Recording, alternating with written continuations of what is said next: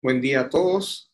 Nuevamente complacido estar con ustedes un año más, dándole gracias a Dios y a la Virgen por compartir una nueva jornada más. En este caso son las sextas jornadas de cáncer de cabeza y cuello en nuestra clínica de cabeza y cuello del Centro Médico Docente de la Trinidad, aquí en Caracas, Venezuela.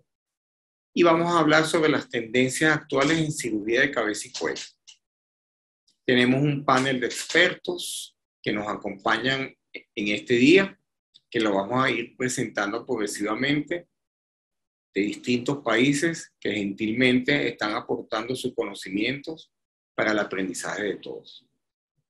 Me voy a presentar, yo soy el doctor Alirio Mijares Briñez, cirujano oncólogo de cabeza y cuello, coordinador de la clínica de cabeza y cuello del Centro Médico Docente de la Trinidad, actualmente jefe de servicio de cirugía general del Centro Médico Docente de la Trinidad, que agrupa una serie de especialidades, entre ellos la nuestra.